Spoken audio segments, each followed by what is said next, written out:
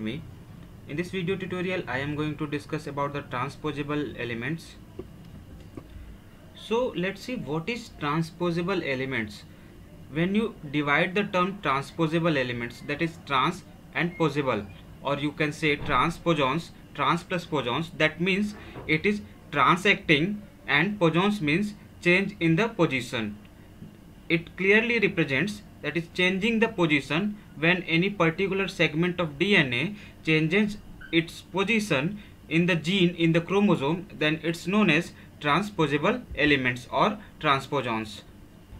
Why we need to study about the transposable elements because transposable elements is very important which alters the genetic behavior in the chromosome and transposable elements are ubiquitous in nature that means it is present everywhere it, it's present in prokaryotes as well as in eukaryotes.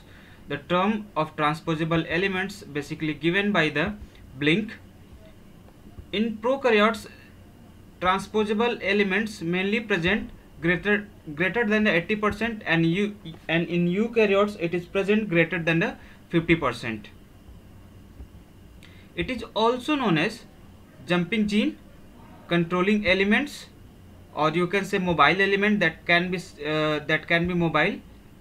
Molecular parasite because transposable elements or transposons can causes various disease in the organism. It is selfish dna or junk dna the movement of transposable elements is known as transposition.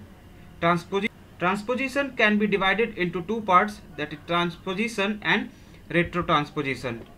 So what is transposition? Transposition basically when the dna move itself when the in a particular DNA, uh, target dna sequence when the dna or transposable element transposons move itself by cut and paste mechanism or copy and paste, me paste mechanism then it is transposition. When dna move via mrna mrna synthesized with particular dna and through mrna the DNA can move from one position to another position, then this phenomena is known as retrotransposition. When the DNA jump from one position and join to another position, just suppose here join to another position, then this joining of particular transposable elements is basically homology independent recombination. That means it doesn't require any particular homology sequence to join uh, to the another position. Generally transposable elements or transposons is flanked by the inverted or direct repeats. Mechanism of transposition can be divided into two parts. First one is copy and paste mechanism and second one is cut and paste mechanism. The cut and paste mechanism is conservative in nature and there is no change in the number of particular transposable element. Just suppose here is a transposable element then it it is cut by the various endonucleases and this free transposable elements can ligate to another target site. This method is known as cut and paste mechanism. In copy and paste mechanism it is replicative transposition that means one copy of transposition element can be replicated and this replicated transposable elements can bind to the target site.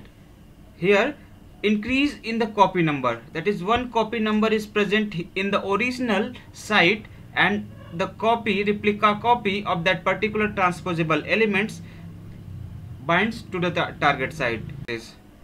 So this is the mechanism of transposition. Let's see what is the inverted repeats and direct repeats.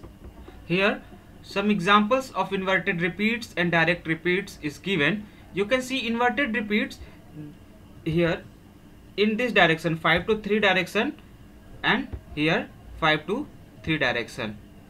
You can see CT, GA, CT, CT and here CT, GT, CT, C.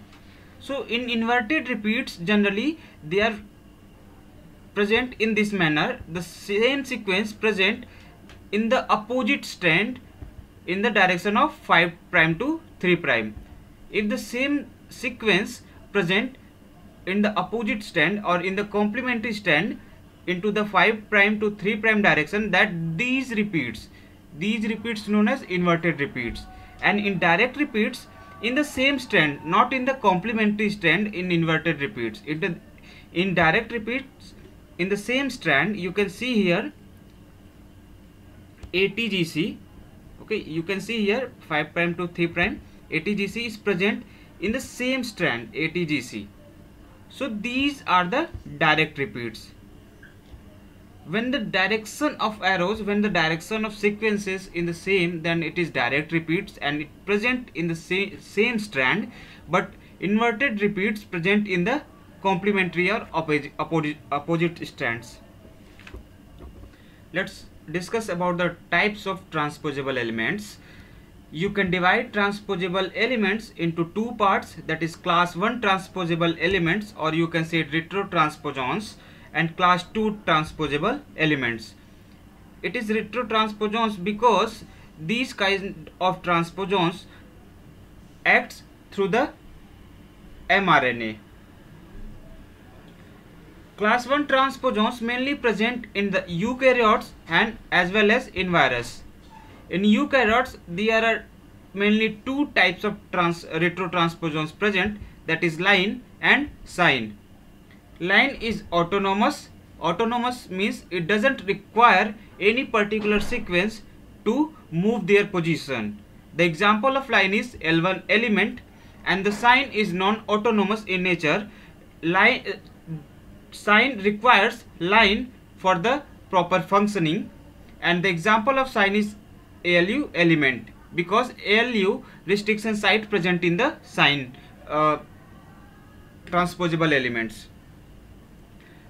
in viruses, the very good example for the class 1 retrotransposons in viruses is HIV. It it have it's have a single enzyme which contains three domain and acts as a three enzyme like re reverse transcriptase, DNA polymerase and RNase H. We will discuss later in detail about all these uh, elements. Let's see class 2 transposable elements. Similarly, class 2 trans transposable elements present in prokaryotes, eukaryotes as well as in viruses. Class 1 transposons doesn't present in the prokaryotes. It presents only eukaryotes and viruses. And class 2 uh, transposable elements present in prokaryote, eukaryote and viruses. In, in prokaryote, IS element transposable elements are present the mechanism of action of IS element transposable elements can be conservative or complex. In eukaryotes, there are three types of basically transposable elements or more than three types of ACDS present in the corn, P elements present in the Drosophila and one is present in the yeast. We will discuss later one by one. In ACDS elements present in the corn, AC is autonomous in nature and DS is non-autonomous in nature.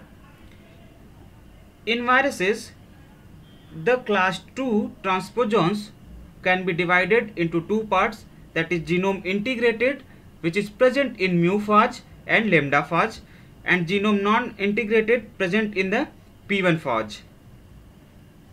So this is the overview, this is the overall classification of transposable elements in the various organisms. Thank you for watching this video. If you like my video, please do like and subscribe my channel. Thank you very much.